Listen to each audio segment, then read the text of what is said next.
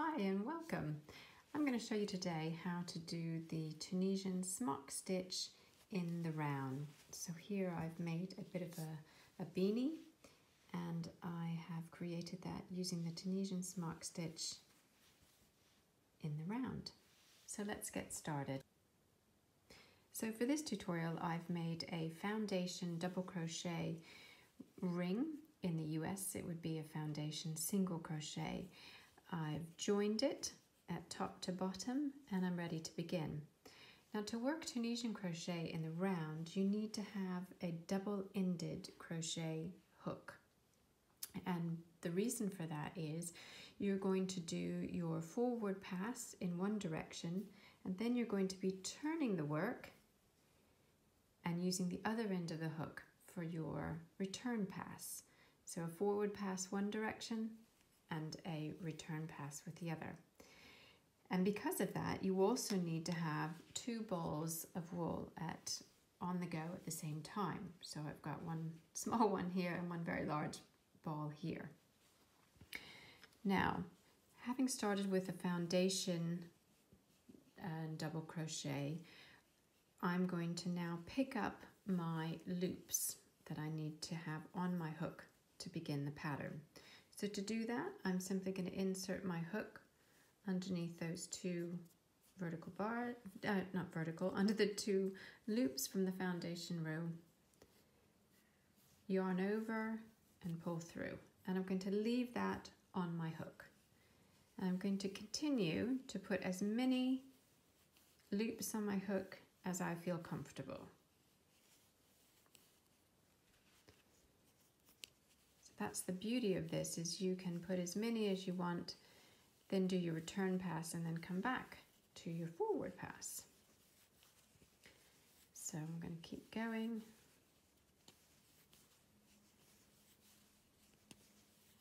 Okay, now I have quite a few. I spread those out. So I've done my forward pass with this, this ball of wool. Now I'm going to turn my work and I'm going to need to attach a new ball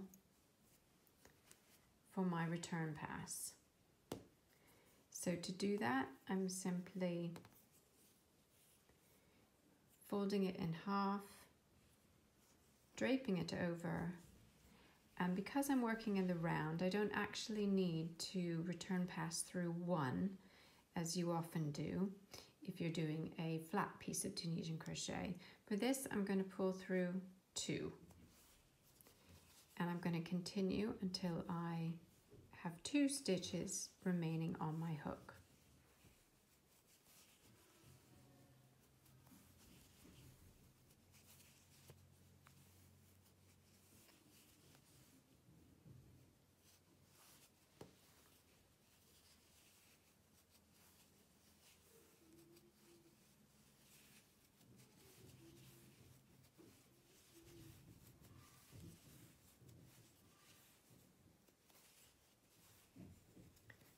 So I have two stitches on my hook. Now I need to start a return pass again. So I'm going to turn my work.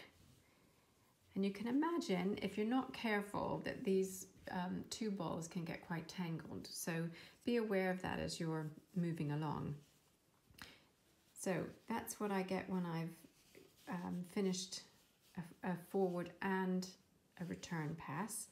Now I'm back picking up my old wool and I'm going to continue putting those hooks, uh, putting the, the loops on my hook. So as many as I feel comfortable with.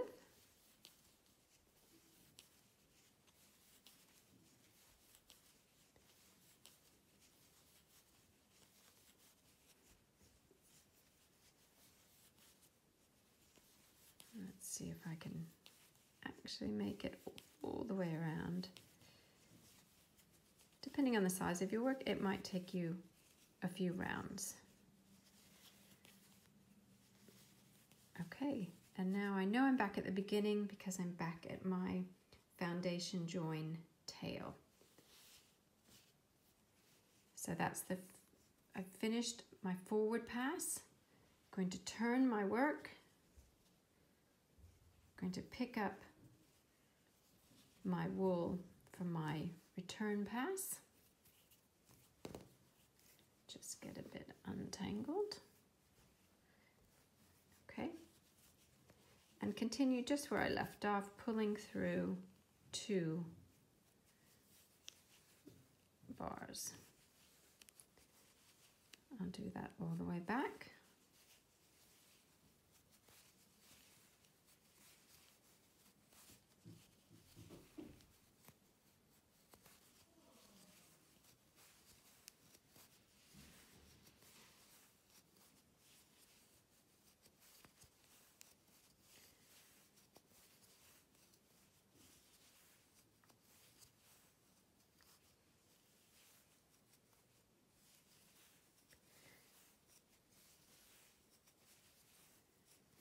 Okay.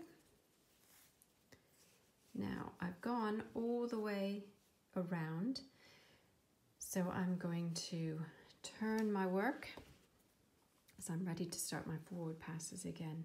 And I'm just going to tighten this all up a bit. Pull on that one, pull on that one, okay?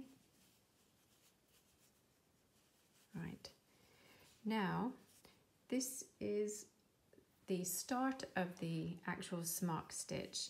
So for the first round, what you're going to be doing is you're finding these vertical bars. And actually it looks as though, so I can actually do one more forward pass just in there. Let me do that. So there we go. Okay, now I'm ready to begin with my vertical bars. So for the smock stitch, this first row, yarn under,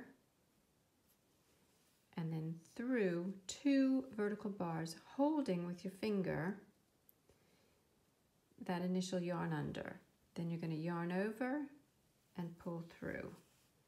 So in effect, what you're doing is you're doing a decrease of these two vertical bars and adding back the stitch you've decreased with this yarn under. So I yarn under, hold my finger under two vertical bars, yarn over and pull through. And I'm going to do that again for as many stitches as I can get onto my hook. And then I'll do my return pass. So you get used to holding that and pulling it, holding, pulling through, okay? So I filled up my hook. Now I'm going to start with my return pass. So again, I'm going to turn my work and I've taken this ball over to the right hand side, keeps it from tangling. And just like before, this return pass is yarn over and pull through two stitches. Yarn over, pull through two. Now, on this one, as I'm pulling through the second, you see the remainder of these are all crossed over. You're simply going to pull through the middle of those two. And that keeps the pattern intact for the next round. So there's two, I'm going to pull through that one and then just right through the middle of those two that are crossed. Don't try and untwist them or untangle them because then it won't be right as you approach it for your forward pass. So just simply slide your hook between.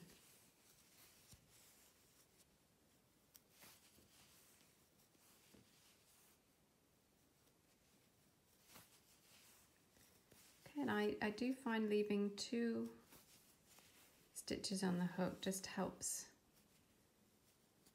with allows you to control the tension a little bit better. Okay so now I need to start my forward pass. So this is my forward ball. I'm going to turn my work again. Keeping things from getting tangled. And I'll continue with that yarn under and through two vertical bars.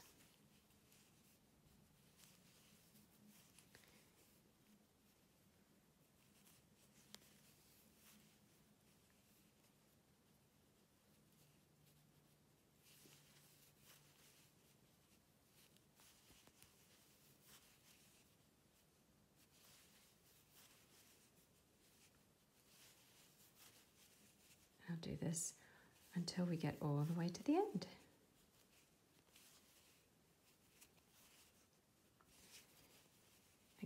Again, you can tell that you are at the end because you can find that foundation tail, which is there.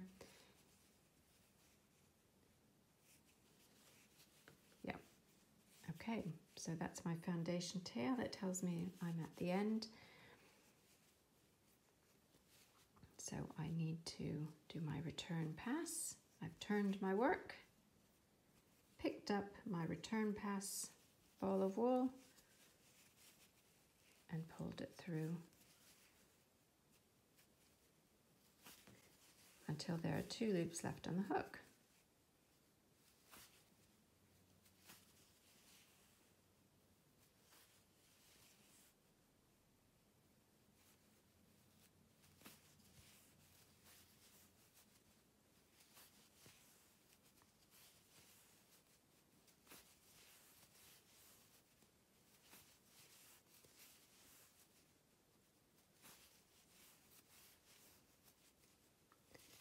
You're almost holding the double-ended crochet hook like a wand and manipulating the wand as you find the correct angle and tension for you. Okay, so I have now completed, I've gone all the way around and made that first row of my Tunisian smock stitch. Okay, for the next row of the Tunisian smock stitch, you are going to do a Tunisian simple stitch. So in other words, you're going to insert your hook under the first, well, actually it's the second vertical bar. So you're skipping the first vertical bar and going into this second vertical bar, yarn under and pull through, and then you are going to Tunisian simple stitch two together. This one and this one. Yarn over and pull through. And then we have established our pattern. Now for the remainder of your work in the round with the Tunisian smock stitch it's very easy because it's a repeat of this. Yarn under the hook go between the under two of those vertical bars, yarn over and pull through. And you're going to do that for as long as you want the length of your project. So it's yarn under, you find these two vertical bars and sometimes they can be a bit hidden so you might have to do a little digging around. So yarn under and what's important is that you check that you are getting this pattern. So you see you've got two together and then they the, row, the next row they're apart and it's two together here. So it's this alternating apart together, apart together. Um, so just make sure as you're picking up those vertical bars that you're picking up the right ones that enable that pattern to continue. And I will continue to do this all the way around. So I'm not stopping there is no end point now. I will continue to find the vertical bars that continue this pattern all the way around. So I'm going to do a return pass because my hook is full. So I turn and I return pass.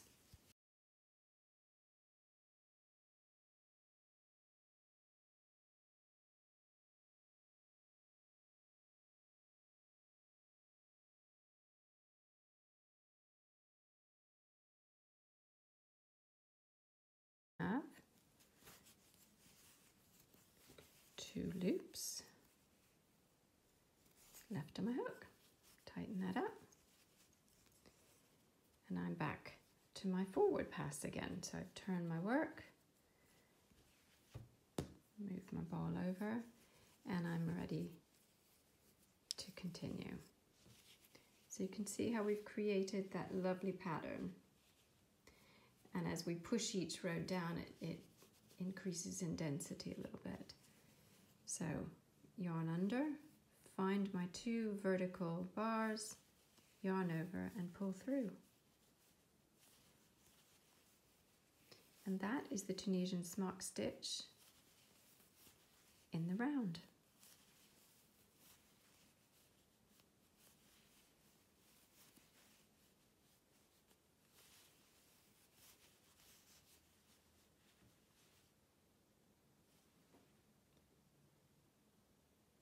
I hope that was helpful. Thanks for tuning in to Loose Ends Crochet.